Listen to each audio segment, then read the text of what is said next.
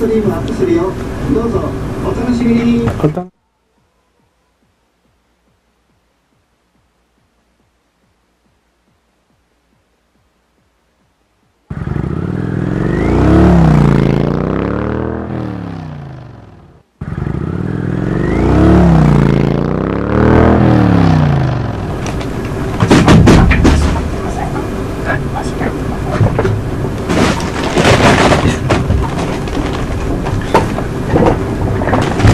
はいさいはいさいですよ。ちょっと待って ちょっとドタバタあのハロウィンのやつが。はい。はい。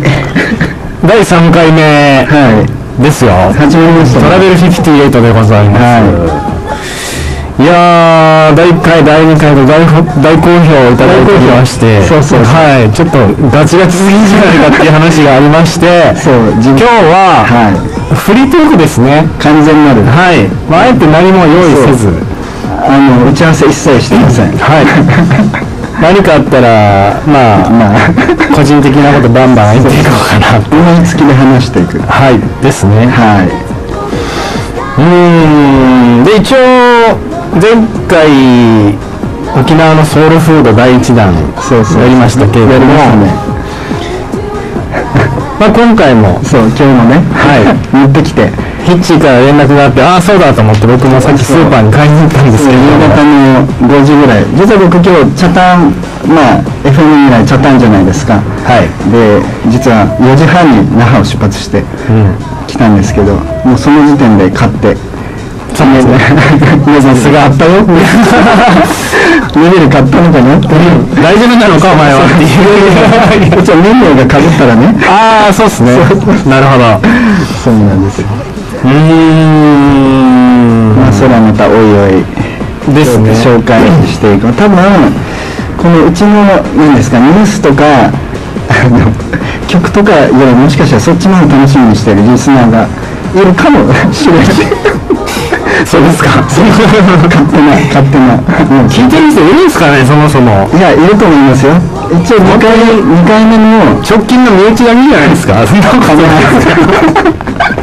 そうなのかな。うん。え、で、でも、なんて言おうとしたんですか？そう、YouTube で、まあ、ちょっと再生回数落ちたんですけど。はい。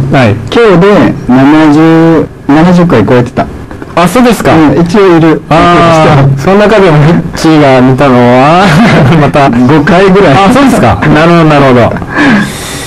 えー、でも沖縄、あれですね、話全然変わりますけど、あのー、相変わらず暑いですね。まだまだ暑いんですよ。でも、本土の方はね、もう、冬到来とまではいかないですけど、そう、なんか北海道の、何ですか？山奥？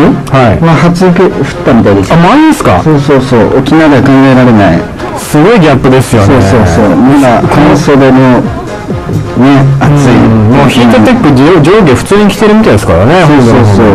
うん。と言いながら僕は今日今日も相変わらず海に潜ってきましたけど。ああ今日はどこ潜ったんですか？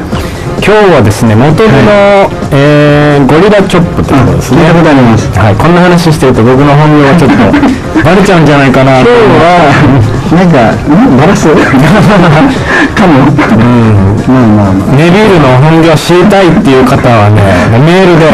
メールで？はい。トラベル58沖縄 gmail.com まであのリクエストいただければ。バンバン。あの、うん、この人気になるみたいな、何言ってんだろう。多分ないんだろうな。いやいや 僕があげるかもしれない。あそう自作自演がいいっすよねこの際それではですね今週もすっ飛ばしていきましょうか。いきますはい。例のやつをね。ですね。そうそうスタンバイお願いいたします。じゃあじゃあちょっと待ってくださいね。はい。今準備しますお願いいたします。もうこれがないと始まらないですからね僕らの番組。そうなんですよね。はい。よろしいですか？まだです。あのミキサー2週間ぶりですああなるほど。じゃあですねこの間に、えー、そうですね何の話しましょうか？しますか？うんそうですね。最近ちょっとヘビーなニュースが続いてますからね。軽くトークしようにもちょっと難しいな。そっか。うん。準備できましたよ。あできましたか？ありがとうございますよろしくお願いします。あのねオープニング。はい皆さん。できますよ。もちろん覚えてますよね。リスナーの皆さん。そうそう3回目ですからねもう、ま、毎回言わ言わないですよもう。練習しないの？いや今日今日初めて聞くリスナーいるからああそうですね。一応今日初めて聞くリスナーの方いらっしゃるからもしれませんがえっとこの番組はですね、えー沖縄の観光とニュースをテーマにそうです。バンバン好き勝手に好き勝手にね。トークしていこうじゃないかっていう番組なんですけれども、はい。えー僕たちがそれではあ僕がですかね。でそうですね。それでは今週のすっ飛ばしていきましょうって言ったら、はい。トラベル58とはい。一緒にもう声出していってください。そうですね。車に乗ってることやったらまだ開けて 手動でもなんか今ビリですよね。そうそうそう。開けて窓を開けて、うん助手席の人も隣の人に。隣に。来て叫ぼうぜそんな感じで。感じで。はいお願いいたしますね。やってほしいなとそれでは、はい。今週も、はい、すっ飛ばしていきましょう。トラベルキリエイト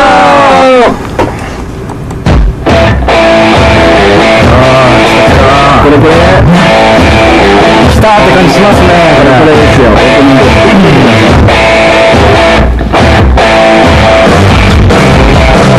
トラベル58にチャンネルを合わせていただき誠にありがとうございます。トラベル58は沖縄の観光とニュースをテーマに好き勝手に語るトークショー番組です。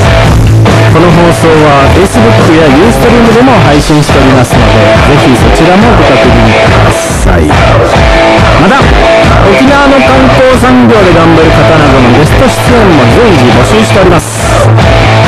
興味のある方は Facebook または Gmail ですね。トラベル58沖縄 at gmail.com までご連絡をお願いいたします。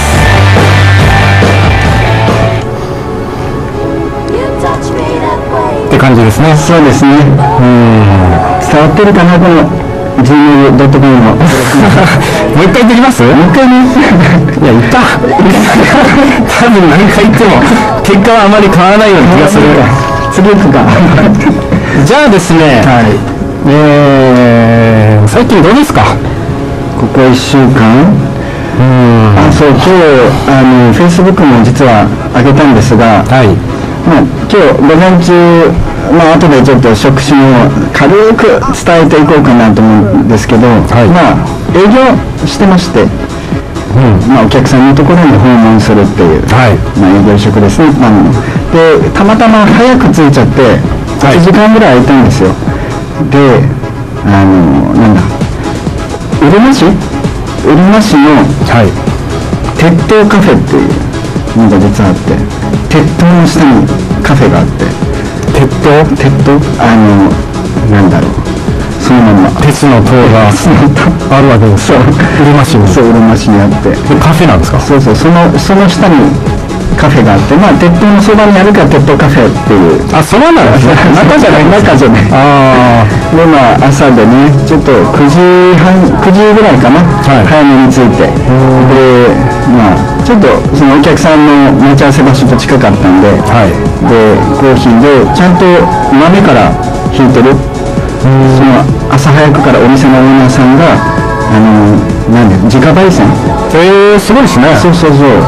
ちゃんとした大きいので引いてそれをなので引き立ての朝一のものを飲めるっていう本格的な。それいいですね。そうそう今度。なかなか。そうそうそう。ただ僕行ったら、えっとね席まあ席数でいうと、まあ、20人ぐらい座れるんですけれども僕以外ほ全員があの外国人だったっていう。外国人の人気な。結構あれですよね。地元の人も知らないようないい場所観光客の方々行きますよね。うんそう。今日たまたままあ何ですか？Google マップ？あれでまあカフェって検索したらたまたま出てきたのでそれで。あそれは営業先とは関係ないんですそう。営業先で行こうと思ったら時間余ってたから、い。まあ、検索してちょっとコーヒー飲んでいこうかなと思って、ん。調べていってたまたま見つけた。ところで。あと僕あんまり知らないんですけど、沖縄ってあれですよね、コーヒーも作ってますよねどっか北部の方ですコーヒー豆を。はいはい。あ違うな。まだまだ多分北部だったような気がする。歌前市とかへえ僕が聞いでも何店舗が多分ありますよね確か。私は知らないですけど。こう考えてみると知らない沖縄がそうそう。まだまだたくさんあるんですよね。うんちっちゃい島国なんですけど。うん。結構。案外広い広いというかいろんなものがあるなっていうのはですよね。ありますね、まあ、そこのラジオで、まあ、今日のペットカフェのようにあの案内していこうかなと思ってるので。はい。はいモビルの方はどうでした？そうですね、まあ、さっきちょっと僕が何をしてるのか、ちらっと言っちゃったんですけど、ついつい口が滑っちゃったんですけど、あのわざとまあ今日ネタがなくなればどどんどんこう自分のね、あの話もしていこうじゃないかと。そうですね、はい。せっかくだから。それに合わせて今日はこのノリノリの曲もね、そうそうそう。BGM にしてるんですけど、はこれ今日一応あまり洋楽詳しくないんですけどい、なんだこれは。ノーリミット。ノーリミッツ。僕らに限界はないぞと。そう。そういうトラベル58に。そう限界ないぞと。なるほど。ので、まあ、たまたまチョイスだけど。さすがヒッチ。いやいやいろいろ行こうと思って。愉快な方々だよね。そう、お互いね。そう前半ね。ここまで反省させられるかっていうぐらいちょっとね、そうそうそう、はい、ありましたので、で、まあ、あの僕がやってることなんですけど、僕は、あの、あれですね、もう沖縄の経済を、あの皆さんにこうご案内していく。うん、大体わかりますね。あ、わかります？あえて言わない。あの、まあダイバーですね。ダイバーですね。はい、もう潜ってます。毎日毎日。いいですね。これが飽きないんですよ。はい、もう楽しくて。これは朝から？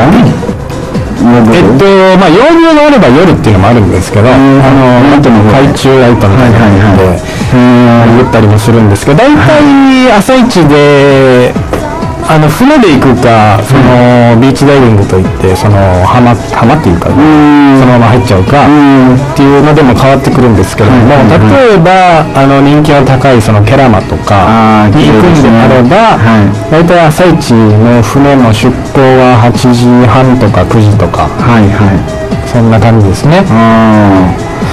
お客さんの要望に合わせてうーん。まあその潜るポイントとかはですねその日の天候とか、ん。あと乗り合いで乗ってる人たちのそのスキルというんですか、はい。はい。あのーいろんなポイントがあって例えば流れがある程度強くても、こういった魚の群れが見れるから行きたいっていう状況者もいれば、まだあのあのライセンスを取ってそんなに間もないので、できればそのそんなにえー難しくないポイントにっていう方もいたりするので、その時に応じて行くところは変わってくるんですけど、まあそういったことを日々やってますね。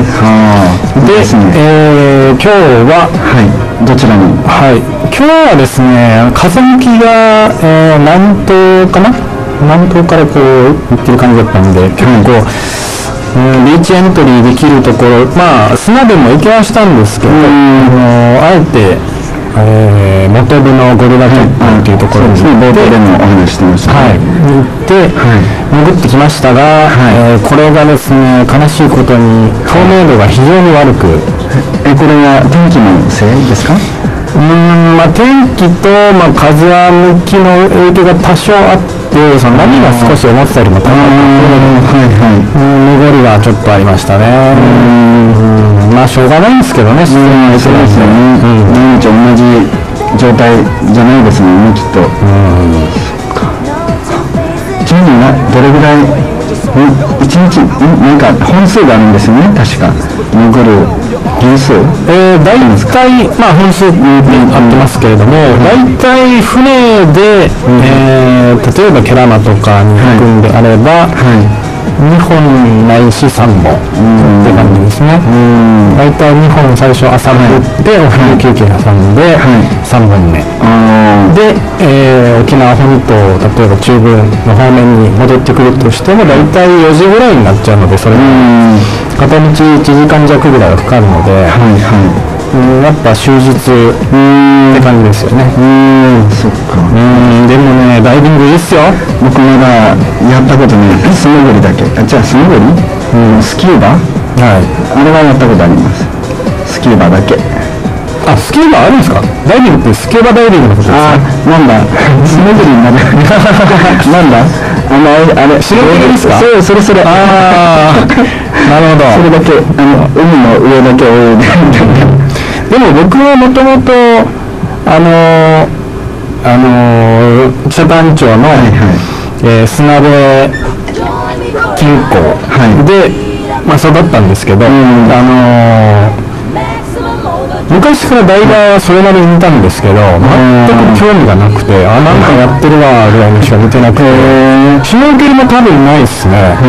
で、えー沖縄を出て海外にこう住んだりしたんですけど、その時に改めて沖縄を外から見るこう機会というか感じになって、沖縄の良さというかまあ、海久しぶりに行きたいなってこう思ってダイビングを始めて、うん。どうせなら育った沖縄で潜りたいと思って、ああいいですね。なのでもし沖縄にずっといたら、多分潜ったりしなかったと思うんですよねずっと。うんそっか一回出て体験したからそうそう。まあ沖縄有名ですからねケラマとか。はい。でも地元の人ってほとんど潜らないじゃないですか。潜れない。しかもあの業界の働いてる人たちもあのほとんどいないですよ。ほとんどほとんどの人たち。はい。いないですいないですまあ一人二人知ってるかなっていう人はいるんですけどかなりの確かに。少なさ。僕も、なんだろうなベテランさん？はい。その昔からやってる、まあ、石垣の方なんですけども、はい。60歳超えたかな、もう熟練のベテランのダイバーさんでもう若い人はほぼいないって言ってましたね。あ地元で？沖縄の人がそうそうそう。大変なんですかね。まあ、まあ、いろんな職種にもい当てはまることかもしれないですけど、ダイビングに関して言うと、専門職であり、体力勝負でもあり、こうカスタマーサービスでもあるんですよね。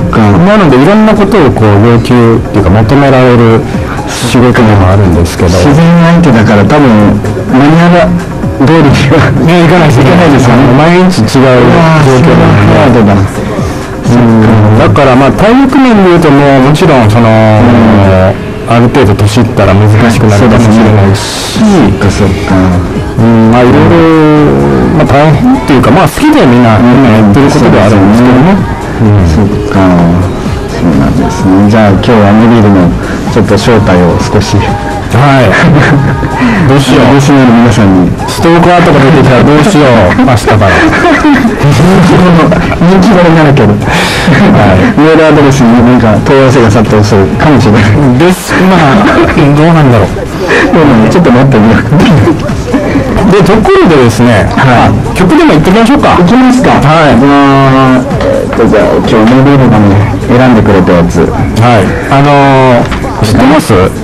あのー、曲は今日のやつは多分わからないかもしれないあ、そうですか。ちょっと貸してもらっていいですか？はいちょっと今、はい、メビールの紹介を今日ご紹介する曲はですね、まずアーティスト名が、えーピチカート5。はいまあ、超有名ですけど、知らない人は知らないかもっていう、まあ、グループですね。まあ、ちょっと古いっていうのもあるんですけど。世代によってかもしれないですね、ただね、今聴いてもかっこいい。かっこいい。本当に、もう素晴らしい。楽しんだ。はい。ボーカルももちろんいいんですけどね。はえー本当にいいグループです。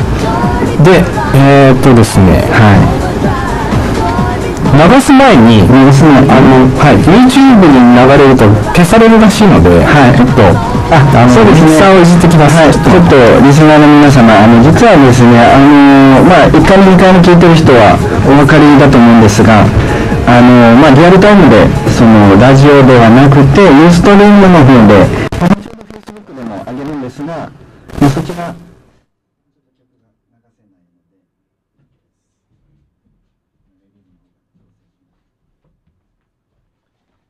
はい。はい、いきますよ。よろしいですか？はい。で、曲流した後は、あ、プ流れたし。まあまあまあ。はい。じゃあご紹介させていただきますね、はい、えー、ピチカート5でスイートソウルレビューです、どうぞ。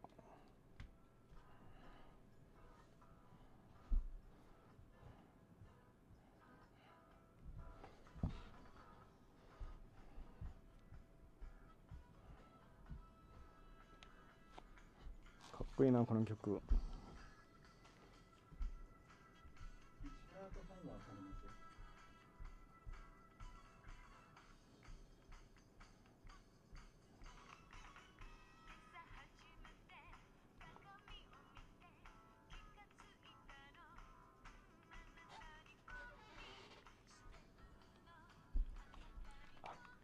このヘッドホンがマイクに近すぎると入っちゃうんですよね。入っちゃないアクシデントってことで。G ストリームのマイク僕今入れた。え？マジっすか？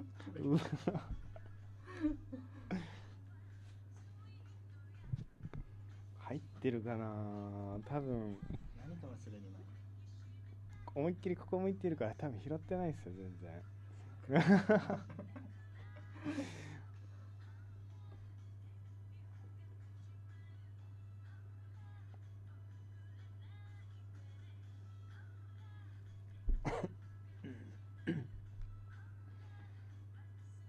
上げたらすぐ流れますね。あそうですそうです。忘れてました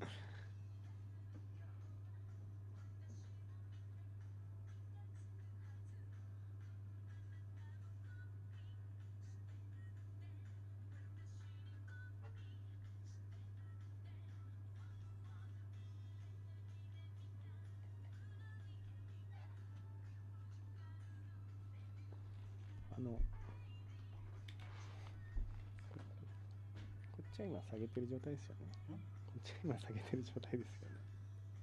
それ大丈夫ですよね。マイクは。そうですね。調整もしてはいるので。曲流れてる様で僕の声。ラジオで流れてたら。大丈夫そこは守って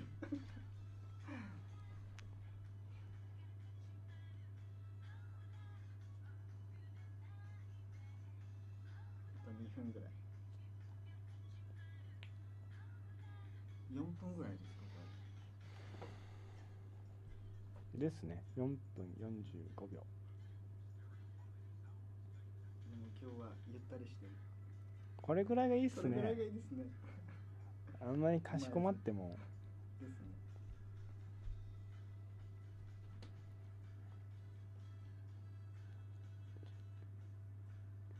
と島クトゥバの話でもしましょうか。しますか。じゃあ僕はティーボランド番宣でしょうかティーボランド番宣、うん、あティーボランなんですかこれ。ボーカルの人？多分ソロで。へえ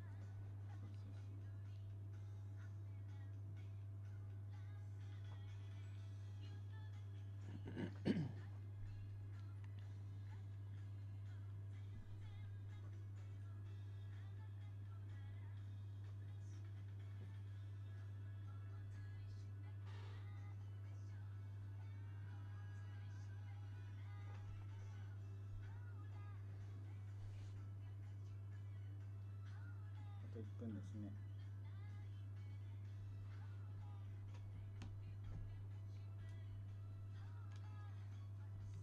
今日僕のも流していいですか？先週あもちろん。はい。遊び出た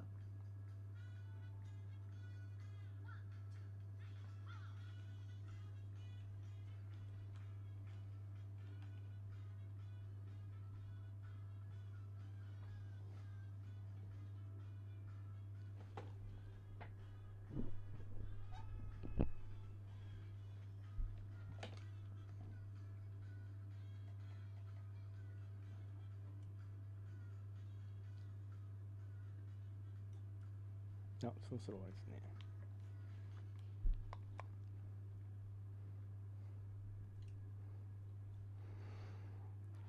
はいピチカート5でスイートソウルレビューでございました。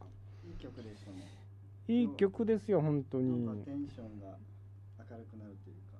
本当ですか？これん？どれぐらい前ですか？だいぶ前ですよね。だいぶ前ですね。これはあ多分ぐらい前じゃないですかね。20年代。うん懐かしい曲が流れました。ちょっと今またネビルの方がユーストリーム調整なので。今日はですねあの曲もしかしたらもうちょっと流せそうなのでまたお話ししていって2曲目いきたいので楽しみにお待ちくださいはい、えーじゃあですねはい。あれ行きましょうよ。何いきますか？ソウルフード。あ早いな。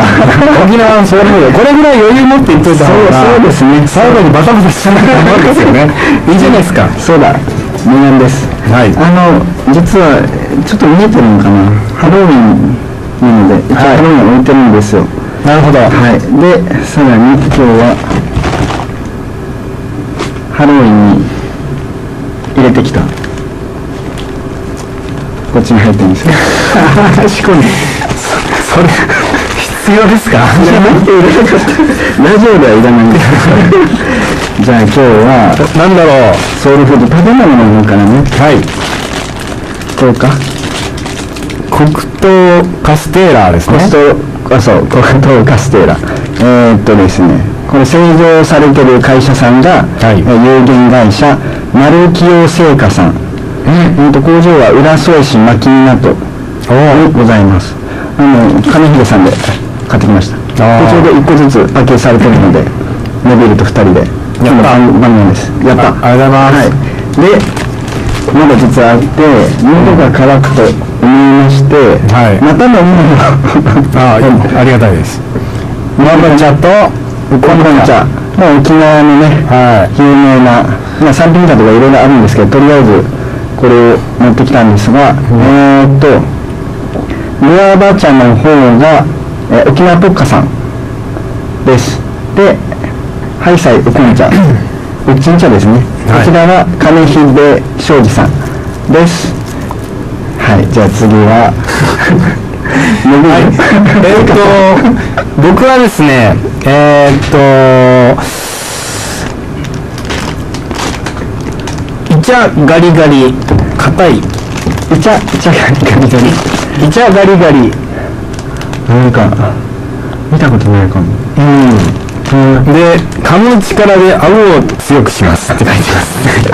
今日試練ですね。はい。でこの本来食べ物ではい。硬いっていうのはうんマイナスなイメージが強いと思うんですけど、はい。あのーあえてそれを前面に出して、顎を強くするっていうプラスに転換してくれるこの なんていうんですかね。いい企画ですね。はいすごいですね。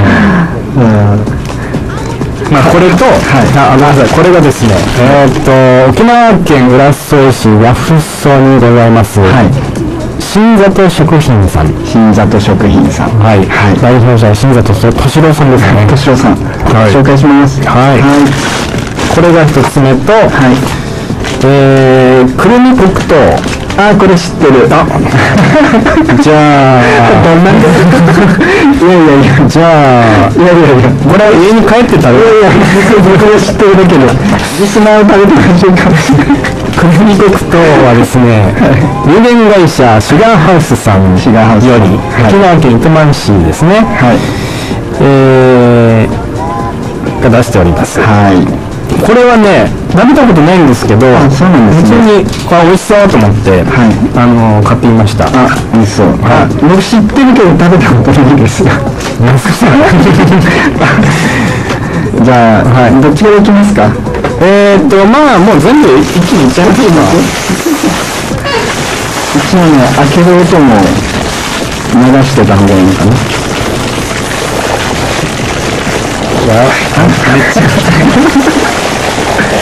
袋がねあいたい。たあ入った。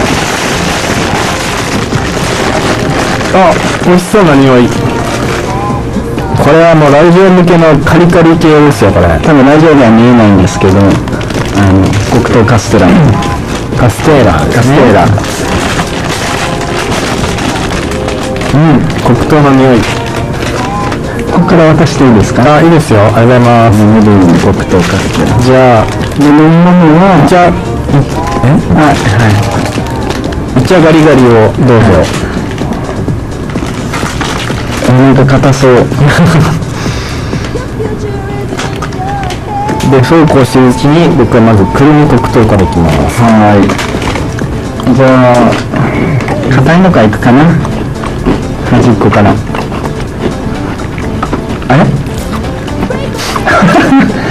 いや硬いよこれ。あ僕も強くしますから これは。今歯を折れたような音しませんでした。大丈夫です。大丈夫硬い。これ硬いな まあうわ食べてみましょう。あ顎強いですね結構硬いねゴリゴリすごいいい音が。なんかイカ入ってますね。イカ？はい。本当は。だから袋にイカの絵が描いてある。ん。ですねなるほど。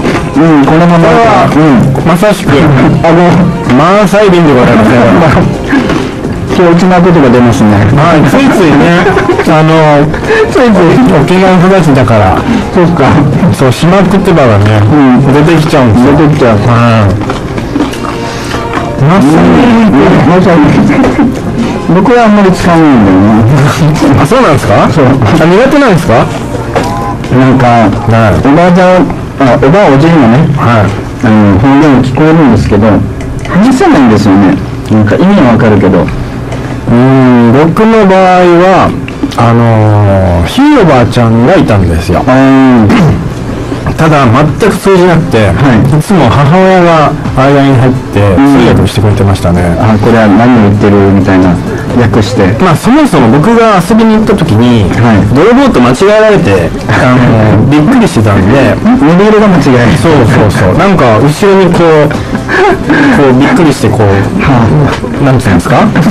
ちょっと。後ろに入れていくような感じでタジタジで。はいどこの外人が来たんだみたいな感じだったんで 身内なのに。あ俺俺みたいな「メリーブだよ」っつって でも言葉通じないから「お母さん早く来て」みたいな感じで「通訳してねできる」っつって。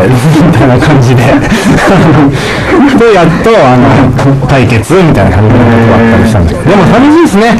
もう島靴場をねどんどんこう普及していかないといけない。本当はね。はい。いや本当まあ そうそう いや全部ねそのスタートから島言葉喋りたい気持ちはありますよ。喋れない。あじゃあこっから こっから？スタートでいやいや無理無理島靴場だけでいやいやいや 開催。ですよ。いやー、これはちょっとわざ僕はわざとらしさでもあのあえて聞きますけど、はいはい今テレビでも流れてるじゃないですか、あん。の島靴場を残していこうって、なんでなんですか？なんで残すんですか？うーん。まあなん理由はおそらく、まあでも一時期って、なんか、まあ、だ多分僕たちが生まれる前、戦戦後すぐかな、はい。その時はあのまあこういったら年齢バレちゃうんですが。あのその沖縄復帰してからなのかな。僕もちょっと間違ってたら申し訳ないんですが。どうぞ。沖縄の方言がくるみ黒糖食べます。沖縄の方言自体がその何ですかね。その島の中で禁止された時期があって。ああありましたね。そうそうそう。あの方言札ぶら下そうげてそうそう。喋っちゃいけないよっていう差があったにもかかわらず、まあ、それはまあその時代のま流れでなんだろう喋っちゃいけないと思うんですけど多分その流れで何ですかねちゃんとした島言葉島島言葉そこ間違えたらダメじゃないですか。ちょっと島言言葉ですよ言葉ごめんなさい。めちゃくちゃ大事なのにそこ島内ちゃんみたいな。でえっと多分ですよ、僕の想像なんですけど、島靴場を残していこうっていうこのねコマーシャルでも流すぐらいのこのね沖縄県のこの目指すものっていうのは、多分ですけど、島靴場を普及させていくことによって、どういうプラスがあるんだろうって普通にこうなんか考えたんですよ。あの多分観光客が増えるとかはないですよね。そこは多分、逆に言葉の壁がより高くなる。なっちゃいますね。で、うん、多分ですけど、うん、沖縄県人としてのアイデンティティの部分なのかなと思って。そうですね。多分、まあ、極端に言ってそれがなくなっちゃうと、うん、何ですか？財産？沖縄の、まあ、一つ消えちゃうのかなっていうのはやっぱりあるんじゃないかなとは。島くとばそうそうそう、うん、やっぱあの伝統芸能じゃないですけど、はい、やっぱ踊りとかなんかまあ地方の方とか、うん、すごい歴史の長い伝統の踊りとかもなんか残していこうよみたいなあるじゃないですか。伝承していくみたいな、うん、あるんですよ、だからそこと、まあ、似たような価値というか。ものなのかなっていうのを僕は感じるんですけども、うん。まあ、伝統として残していきたいあとここでちょっとはっきりさせたいんですけど、はい、品靴場と内縄大和口は別なんですよね。別です。別ですって言っても、まあ、僕が多分違い分かってないと思うんですけど違う違うっていうのは。多分別だと思うんですよ、うん、本当にいわゆる昔からあるその方言が島靴場ですよね、はいはい。で、うん、内縄大和口の中でも、はい、なんて言うんだろう。いわゆるこう日本の標準語を間違って使ってるのを内縄大和口とか言ってることないですか？ああそこに含まれてるかも。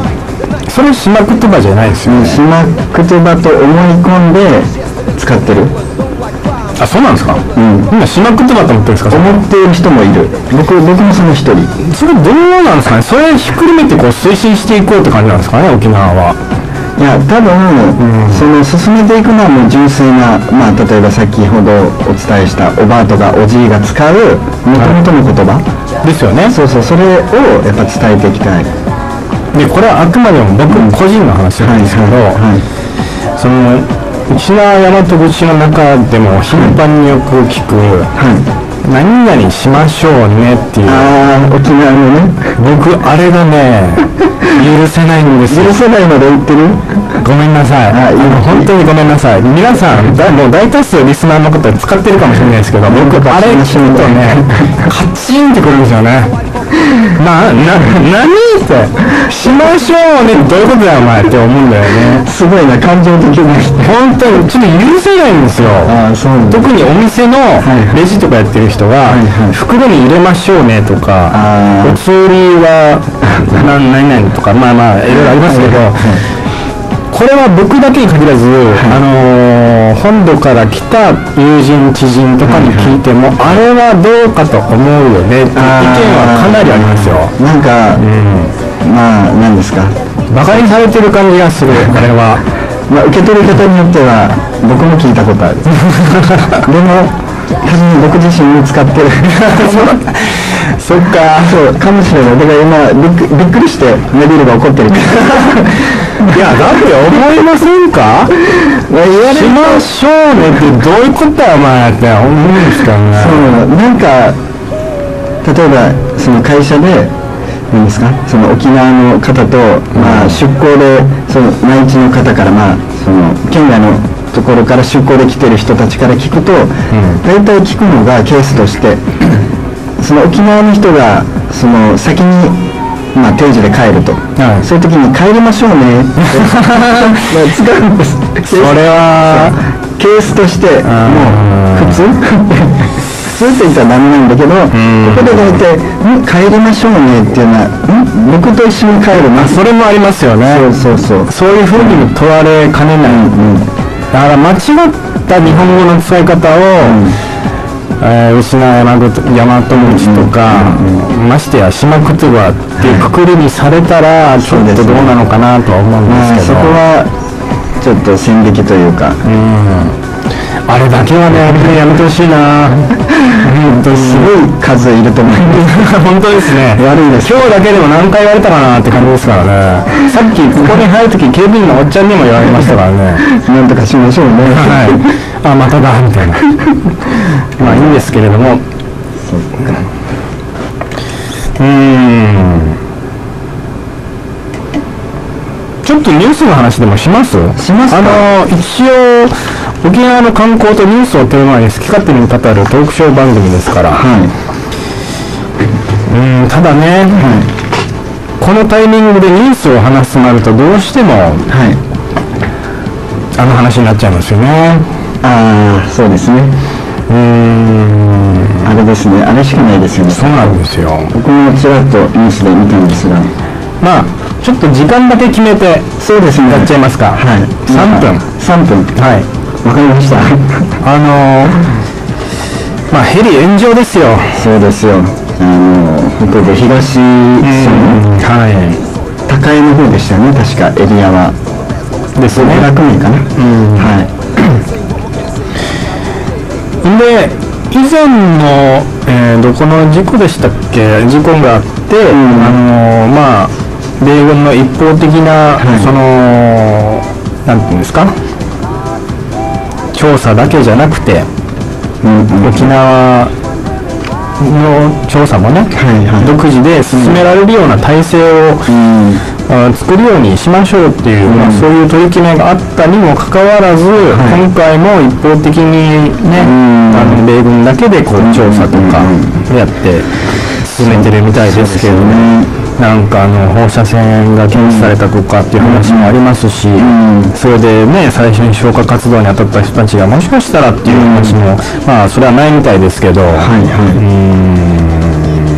ねこうもうなかなか詳しい詳細が、詳しい詳細は違いますね。詳しい情報がうんうんうん。出てこない状態で進んでますけど、なんかまあ事故まあない方がもちろんいいんですが例えば、まあまあ、次は起きてほしくないんですがもし起きたらじゃあ次どうするかっていうなんか防止策なんていうんですかね、そういったのもやっぱり地元その事故があった現場の周辺とか決めるためにも、やっぱ情報って必要なのかなっていうのは感じますね。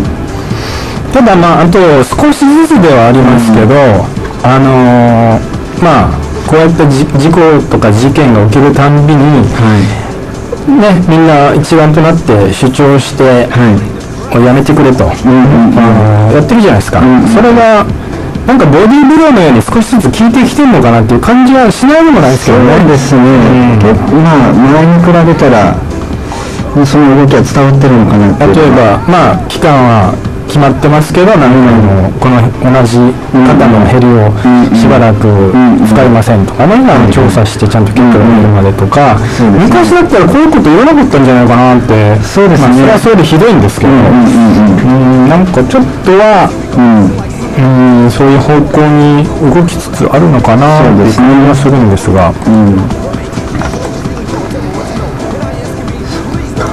ニュースですね。はい。もうね時間通り。あ終わりました。はい。素晴らしいまあ引き続きちょっとはい。注視していきましょう、このニュースね。ははい、また来週詳しく追っていきたいなと思いますが。あそうだ。はい。今話したら時間なくなっちゃうかな。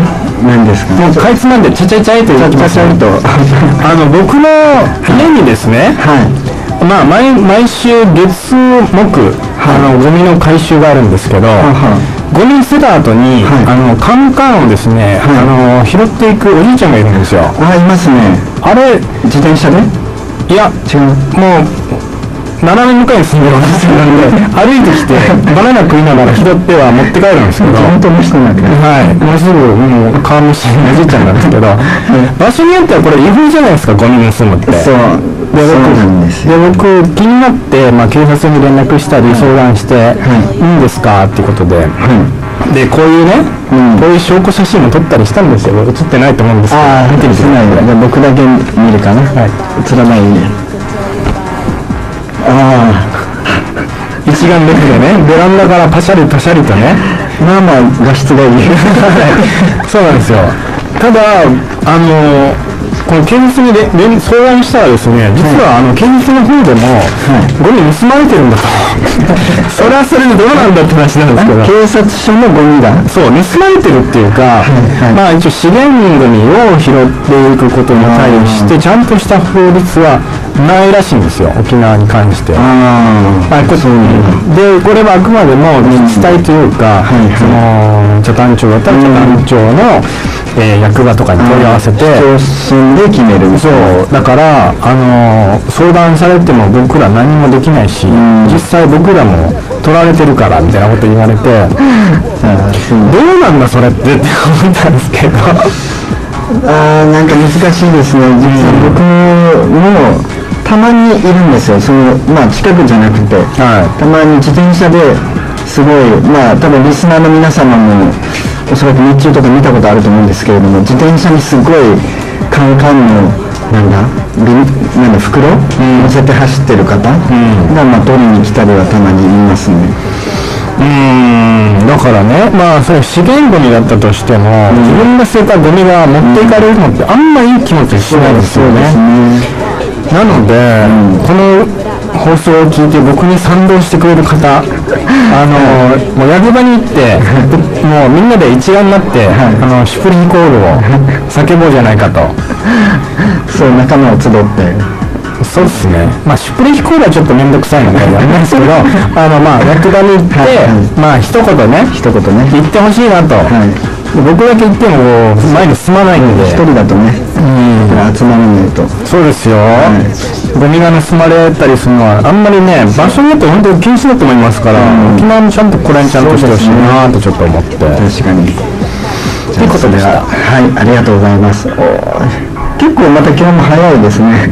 そうですね。まあでも 10, 10分ちょい。13分、はい、でも結構今日は1回目2回目によりは心のゆとりが。ですね。ありますね。うん。そろそろ2曲目いこうかな。あのいいですね。いいですか言って。いいですよ。もちろん。あの先週ちょっとグダグダ、まあ、2回目聴いてた人お分かりだと思うんですがえっ、と僕が僕が選曲選曲した曲が流せなかったので、はい、今日は流そうかなと思っています。えっとですねあのまあ曲紹介なんですがじゃあ来年引退される 9, 月 ,9 月？来年の9月に引退するのは沖縄のもしかして。もしかしてあの分かりますか？あの女の人。そうです女の人です。まあ名前はまあ、もうここまで来たら言わない。あの安室奈美恵さんの曲を流そうかなと思って。うん。いきます。はい。いいですか？ああのはい。やりながらじゃあ。ちょっと今伸びるのがあのまた別のミキサーの方調整するのでそれが終わってから。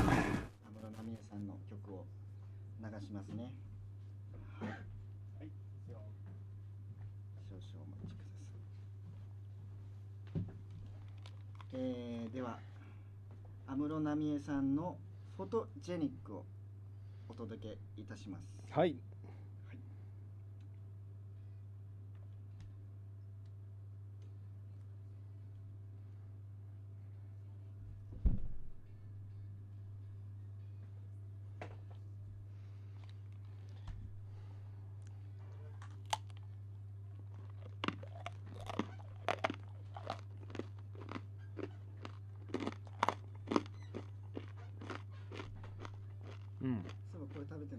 あそうですね。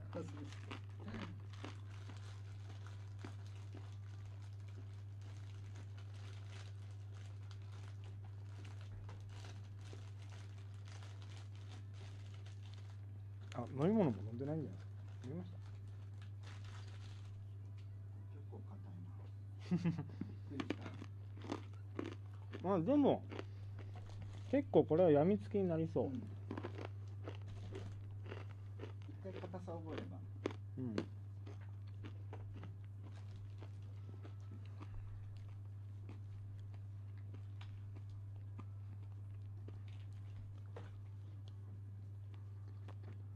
うん美味しい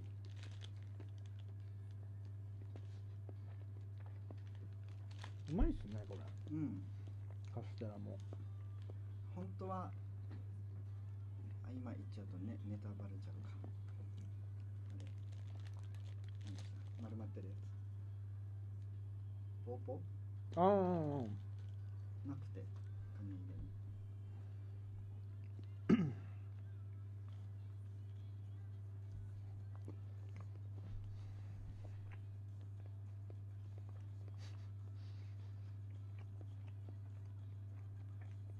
なんかフリートークが一番スムーズな気がするなんか気楽ですね緊張しないうん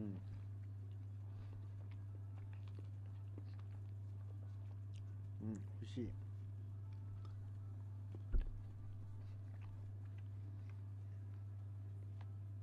まあニュースのテーマは一つぐらいでいいんですかねそうですね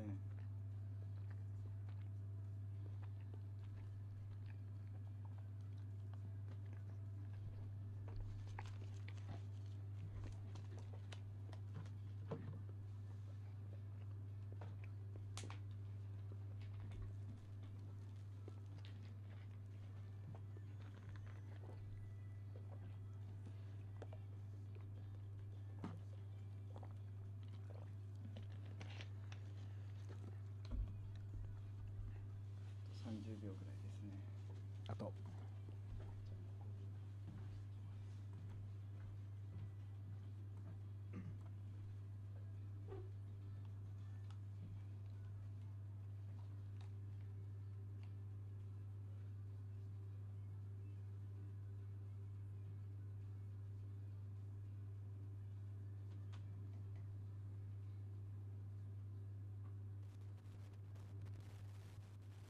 Freak photogenic.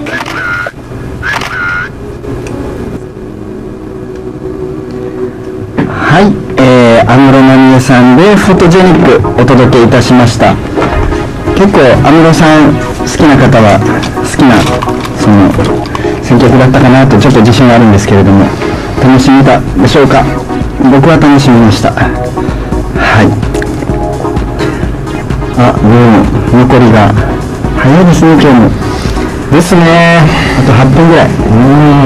あのー、多分まあ、月曜日ということでもしかしたら残業してる方もいるのかな。そうわからないです。ね 仕事頑張っている方も少しラジオで疲れを癒してほしいなと思ってますが。はい。はいさて曲も終わったところで。あの実は さっきは飲み物飲んでないんですよね。グアバ茶とウコン茶飲みますか？後で飲む？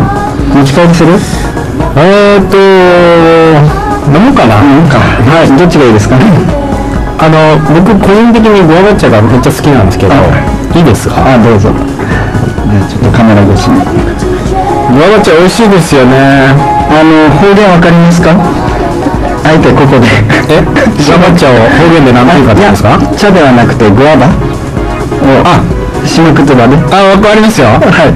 バンシル。あよかった。あ バンシルだけは知ってる。バンシル茶バンシル茶なるほど。そうそうそう。僕はあの教えそう。ですね。そうです。じゃあウコン茶ウッキン茶ですね。はいうん。うまい。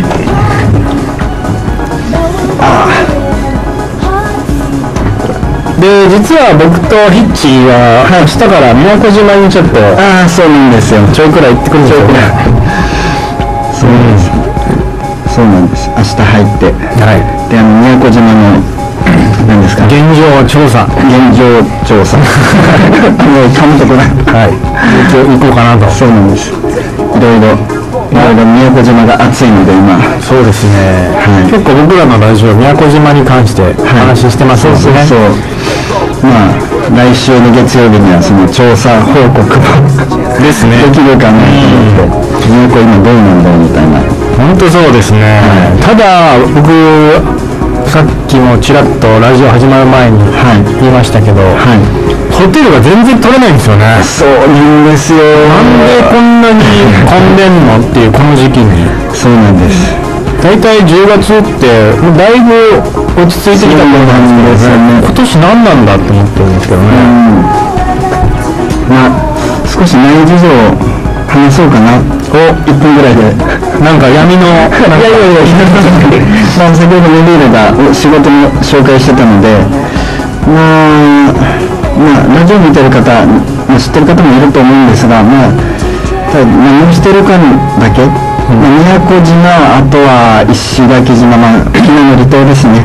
あと本島も含めえーっとまあ観光客が泊まる、まあ、ホテルさんとか、あの要はそのペンションとか民宿とか旅館とか、そういった泊まるところのなんだお手伝いをしてます。ざっくりすぎるかな。いや、うん、そうですね。